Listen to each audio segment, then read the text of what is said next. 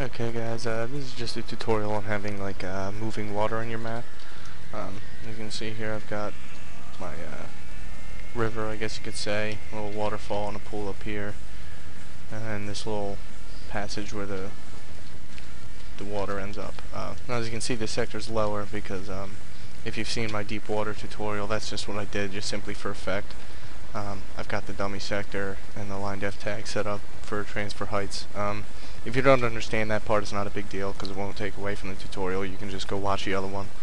But um, this is just a real simple effect. Just uh, I have it set to scroll west because it works like you know north, south, east, and west, and you know just like a normal compass. So since I want to scroll to the left, I just have it set to move fast. Um, what I've also done for effect is right here on my actual waterfall, as you can see. What I've done is I've given it the action uh, scroll texture down.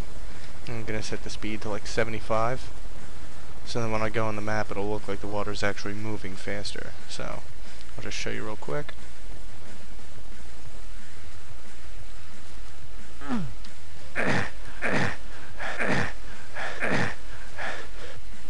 You can see there the water is moving and the waterfall is moving quicker as well.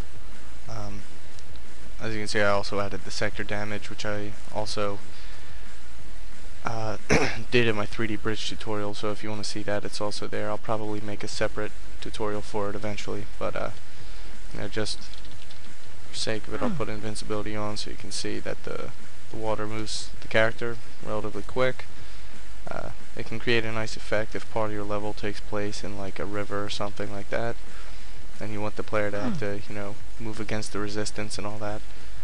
But uh, that's pretty much all there is to it. It's just a simple sector action, really. But uh, I mean, if you combine a lot of the things like I did, I also had the, I actually also have a sector lighting for if you crouch down and looked inside the water.